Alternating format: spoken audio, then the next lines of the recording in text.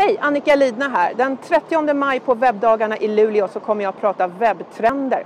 Vad händer egentligen i sociala medier nu när alla företagen behöver börja tjäna pengar? Hur ska din, din organisation hantera nya kanalstrategin på Youtube?